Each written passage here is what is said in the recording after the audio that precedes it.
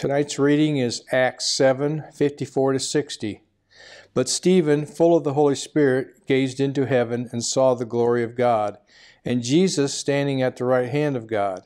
And he said, Behold, I see the heavens opened, and the Son of Man standing at the right hand of God. Today is the festival day of St. Stephen's, martyr. In the Lutheran tradition, we honor such saints as models of the Christian life. In Acts 6, Stephen is chosen as one of the seven men to take on the task of caring for widows. He did such great signs and wonders among the people that he was brought before the council and accused of blasphemy.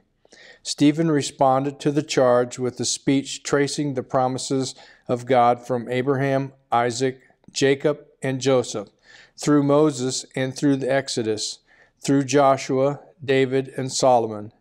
He commends the council, he he condemns the council and the people, saying that they have always persecuted the prophets and rejected the Holy Spirit. He declares that they have now betrayed and killed the righteous one. For this, the council stones him. As he is dying, Stephen sees Jesus, about whom he has testified, sitting at the right hand of God.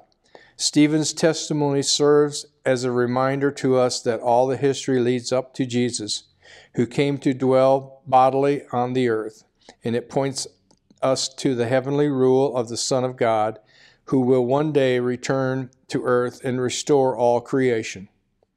King Jesus, you rule the heavens, sustaining all that you have made. Guard and keep me until the day of your glorious return.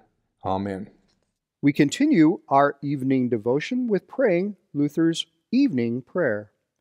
I thank you, my heavenly Father, through Jesus Christ, your dear Son, that you have graciously kept me this day, and I pray that you would forgive me all my sins where I have done wrong, and graciously keep me this night. For into your hands I commend myself, my body and soul, and all things. Let your holy angel be with me, that the evil foe may have no power over me. Amen.